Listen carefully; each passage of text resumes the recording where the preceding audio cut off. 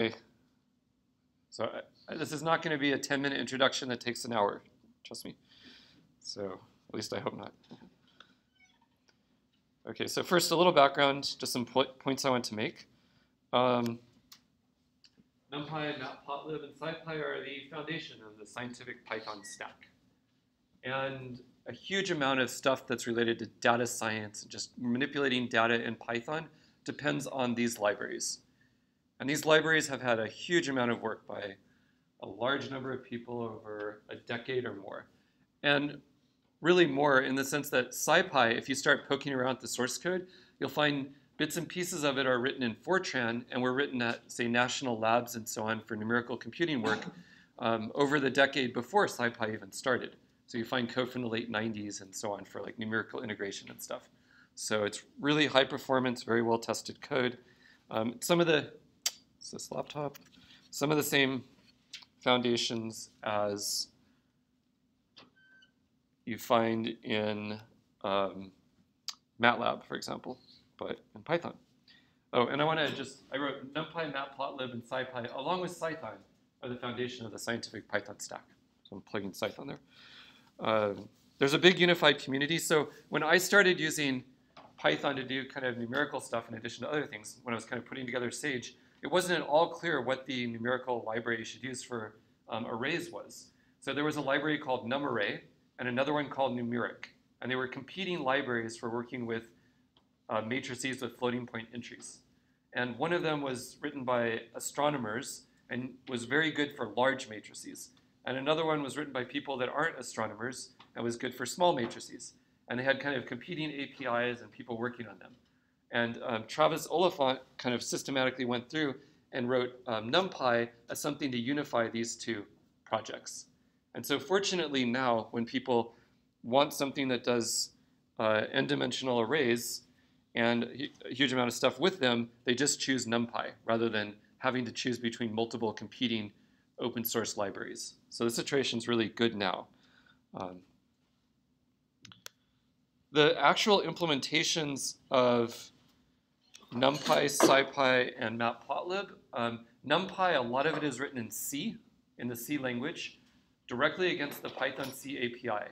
It would be natural, and you might imagine it should have been done using Cython, but a lot of it was written before Cython or its predecessors existed. Yes? Uh, what's the C API? So Python itself, if you go to the Python website, download python-version number.tar.gz, there's a, the source code of Python, it's actually a C program. It's just a big C program. It takes about one minute to compile from source, at least last time I built it directly. And as a C program, it does kind of, you can view it from two perspectives. One, it's a C program that makes certain functions available. And those um, functions are the Python C API. It's an application programming interface for accessing a bunch of functions. The other thing it makes available is an interpreter, which takes Python files and, and turns them into bytecode and runs them or lets you interactively work at the command line. And so you can view Python as a C program. And it's uh, very nicely written, very clean source code, well commented, and so on. Um, I will avoid the temptation to just download and compile Python right now but I'm very tempted to do so. But I'm not going to. Um, but I, yeah. Uh, so the Python C API. So remember when you used Cython, you wrote a little bit of code and it looked a lot like Python. Did you ever have to worry about manual memory, manual reference counting? Like every time you created, uh, say, an int or a float or an object of some sort, did you have to explicitly increment a reference counter and then later explicitly decrement it to avoid memory leaks and possibly mess up and do it twice and get a seg fault or something. No, Cython just automatically takes care of all of that. When you directly write C code that will be used from Python against the Python C API, you have to do a lot of that stuff manually, and it's tricky, but you get kind of optimal performance. But that's all that was available when NumPy was being written. So likewise, uh, Matplotlib, it's another big thing that you can view as a Python library, but it's um, mostly written in C++, a lot of it, and it's just exposed and made available from Python. And this is for speed reasons. So Matplotlib, um, it lets you draw lots and lots of beautiful plots. It's a foundation on which you can build other plotting libraries. Like all of Sage's 2D plotting is built on top of Matplotlib. And Matplotlib can export to lots and lots of different formats. Like you describe an, um, a, I guess, a figure in Matplotlib, and then you can say, save it to a PNG file, save it to a PDF file, save it to an SVG file, um, anti-alias this way or that way. And there's a whole bunch of really tricky C libraries and C++ libraries behind the scenes that Matplotlib is using in order to implement this functionality. And then finally, SciPy, it's a program that's a lot of written, a lot of it's written in C, a little bit in Python, and then some in Fortran, and it's all kind of linked together. So these libraries are not just like a bunch of Python code that you could run anywhere that you can run Python, but they're very, very fast. So a lot of the functionality, when you call, you make a matrix, you say, give me a random matrix these entries and then do, multiply it by some other one. It's as fast as you could possibly expect in any language. It'll be faster than, or as fast as anything you'd write directly in C or Fortran. And that's why people really, really like using Python for numerical computing. Um, as long as you can figure out how to express what you're doing in terms of NumPy using the operations NumPy um, supports and, and makes available, you can do things very quickly. Um, when I say vectorize operations, that's things like if you have two matrices, you add them together, or you compute the sine of every entry in the matrix, that sort of thing, where you do something that's um, some operation on all the entries of a matrix or an array. That's the sort of thing that NumPy, for example, is super good at. Um, so this comment is very often you'll hear about somebody made it so you could run Python inside of Java or Python on some just-in-time compiler that's available or something like that. Or Python, you can run Python in your web browser. And usually what that means is that the core Python implementation can be run that way, but you start poking deeper and import NumPy or you know install NumPy just doesn't work, or the same with SciPy. Um, and that's the thing to watch out for. These are really very sophisticated C, C++, and Fortran programs, and they're not easy to get to run in different environments necessarily. Okay, a little more details about each of them. So NumPy provides an n-dimensional array object you already have some experience with it when you were working with data frames. Under the hood, data frames use NumPy arrays to store their data. Um, but notice that there's a cube here that emphasizes that it's not just two-dimensional arrays. For example, if you have an image which has a red, green, and blue channel, you can represent it using a three-dimensional NumPy array. So if it's a 1,000 by 1,000 image, um, in two of the directions, the dimensions will be 1,000, but there'll be a third direction, a third dimension or shape of your array, which will be of length three. So you can encode the idea of three thousand by thousand arrays in, this, in a single object in NumPy. And that's what this picture is supposed to represent. It's more like a grid in space. Or four-dimensional, like maybe you have several different grids, they evolve over time. So you represent that using a four-dimensional NumPy array. That's a very powerful data structure everything works in a nice uh, fluid way. Um, here's a NumPy tutorial that I've linked to. And if you're bored with the homework, I want to work on it in a few minutes, this is something to look at. You can just go through and try all the examples. It's very, very um, just step by step. So like there's just lots of examples. You copy and paste them into a worksheet, maybe change them a little bit, and play around with the, some, with the functions and read the documentation. So it's just lots and lots of examples like this. Um, next is Matplotlib.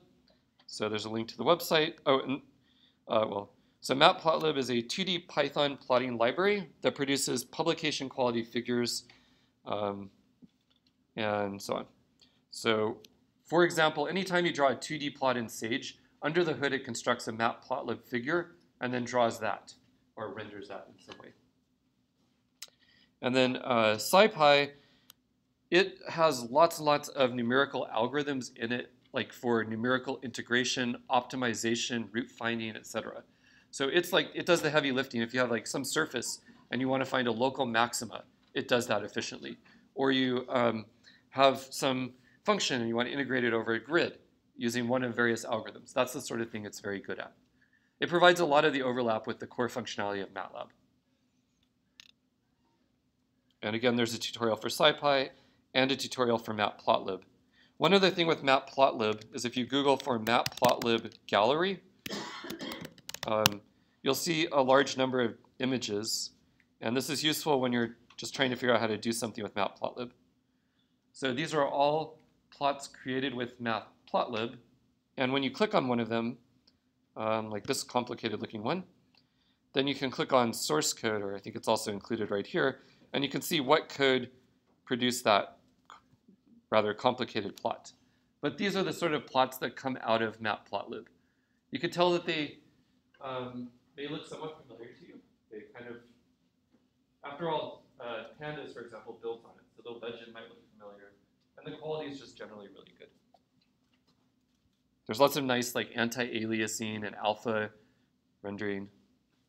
Sorry, but maybe it'll keep you on your toes. Um, at least it doesn't flicker really quickly. It doesn't mess up the screencast. Okay, so that's uh, these three. All right, so that really was just over 10 minutes. Okay, next we're going to talk about the three problems. I will talk more about NumPy, Matplotlib, and SciPy on Wednesday and Friday, depending on the sort of questions you have when you're working on your homework and the tutorials. Okay, so next, um, let's look at the homework. So you should all have a copy of this, but here it is.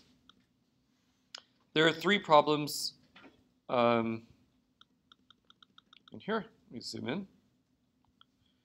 So make sure you look at that uh, plot on the right because you will not see it, I think, when you look at your homework. Since it happened, I drew it and then we accidentally deleted it and it's cached in my browser. But that's kind of what your answer is going to look like to give you a picture in your head. So aim for something that looks like that, at least for part three of the problem. Okay, so that's what it'll kind of look like. So in this problem, you're going to return to the Mexican hat that you remember from a while ago, and you're going to try to draw a plot of it, including the formula for the hat. And you'll draw it first using Sage's normal 3D plotting. So this part is almost exactly like something you've done before, except you're going to put um, a label somewhere using text to show the formula in the picture. And as you can see, where I said not, the text should not look good. It's going to look really bad because there's no support in 3D in Sage for directly drawing um, LaTeX. And also the results of, you, all you get out of this is a PNG image. So that's what you'll see in problem one. In problem two, you're going to use Sage's ray tracer. There's a program called Tachyon. It's a very fast parallel ray tracing program. So what it does is it takes a description of a scene and then simulates shooting light at the scene and then figuring out what the color of every point should be. Like the light bounces around, you get shadows and stuff like that. Sage has this, it's how it draws a PNG image um, statically of a 3D scene. And so this guides you through drawing the Mexican hat and some text, which again will not look good. So if you can't get the text to look right, that's not your fault. It's because nobody's ever implemented it yet in Sage. Um, so you'll draw it using you'll draw it using Sage's 3D plotting plus Tachyon.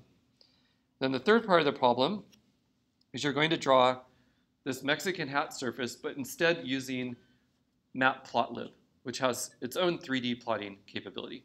And here, one nice thing is that it really it produces a nice PDF image. So it's a vector graphic, which you can include in a LaTeX document or a Word document or whatever, and it looks publication quality. So it's something you can really put in a paper that you'd submit. Um, and it does a really good job of rendering LaTeX formulas and so on. Okay, so you'll get a nice 3D image this way, but it's a little bit more painful to use. Okay, so that's the first problem. Problem two is about uh, histograms and also Sage's interact functionality, which gives you interactive controls um, like sliders and drop-down buttons and color selectors and so on. Um, so what you'll do here is this is a little uh, function that if you evaluate it and run it, I'll just do that, then it draws a histogram using matplotlib. Okay, so that is a you know very nice, clean histogram, right? It's easy to create, and this is the matplotlib code that you use to draw that histogram. Um, who here has some experience with MATLAB? Does this code look kind of like MATLAB at all? I mean, it should be almost identical to what you would, except for the PLT dot part. Like the step after is very similar to MATLAB. Um, should be like similar options and so on. So the API, the thing which is um, where it says import matplotlib.pyplot as PLT, what that does, this PLT thing, it's something that has functions that are modeled as close as possible on MATLAB for those functions.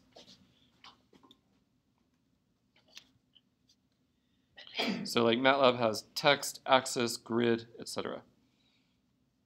And then you'll get something that looks like what MATLAB might produce, but I think prettier. Okay, so what you're going to do is do a bunch of things with this histogram. So you'll um, change it so that the function takes inputs, and then instead of just drawing everything, it'll be parameterized by those inputs. So you'll be able to change the color of the histogram, etc., just by changing the inputs to the function. Then the next thing you'll do is you'll put um, this little decorator, this is a Python decorator, right before the function you had above, and it will turn every single one of the inputs into a little control, where you'll be able to type a number, and then it will, right when you type the number, it'll update the output with that. So it'll be an interactive, like, um, kind of web application with little input boxes. And then what you'll do is modify the, you'll learn about this interact thing, which, let me click here so you can see what it looks like. Um, uh, try a random thing. Basically what interact does is it lets you make little things where you have sliders and you get some output.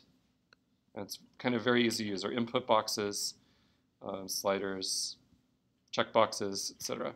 So what you're going to do is make it so that like the color of the histogram, you use a little color selector, the um, uh, other parameters use sliders and so on. Okay, so you'll do that. And then here you will uh, add another button that lets you change the distribution. That histogram was a plot of sampling from the normal distribution, but you can plot from, you can sample from other distributions that are provided by um, NumPy. And so you'll just choose, there's a whole bunch you can choose from, so you just choose two others and then adapt the code so that it samples from those other distributions. So that's problem two. And then problem three, the last problem, involves um, image compression using singular value decomposition. And so there's some code here that should actually, I think, work, but it doesn't really do all the things that you're supposed to do. But it, it's enough to get you going. So there's an image called uh, example-line.jpg, and it's been uploaded here. And then this code uses singular value decomposition with certain parameters to uh, compress that image and display it compressed. Um, I'll make it a little more compressed by changing this parameter to 5. So what you're going to do is modify this code to change like how it gets displayed. Instead of this image, you'll, use an image of your choosing. And um, you can also read in either of these two references or somewhere else how singular value decomposition uh, lets you do image compression. So so one part involves uploading an image and going through these steps to um, compute the singular value decomposition and show a compressed version. Uh, it shouldn't be hard because you just basically copy this code above and make some changes. And then you're going to uh, try varying the parameters and seeing how good the compression is or how bad it is. And then um, something else involving how compressed it is. Like, um, and then something else fiddling with values. Okay, so those are the, the problems. Um, hopefully it'll take you less time to do them than it took us to make them, um, but we'll see. And again, I strongly recommend looking at these tutorials that I've linked to. Um, you'll learn a lot by just making a blank worksheet and then trying lots of things in the tutorials, going through there. Um, it's like a good systematic way of getting a sense for how things work. All right, so that's everything I'm going to lecture about. And are there any questions before you start working now? So you have about a little over 23 minutes. So you can start working on some of the homework or going through tutorials or whatever, and various of us will walk around and answer questions. Okay?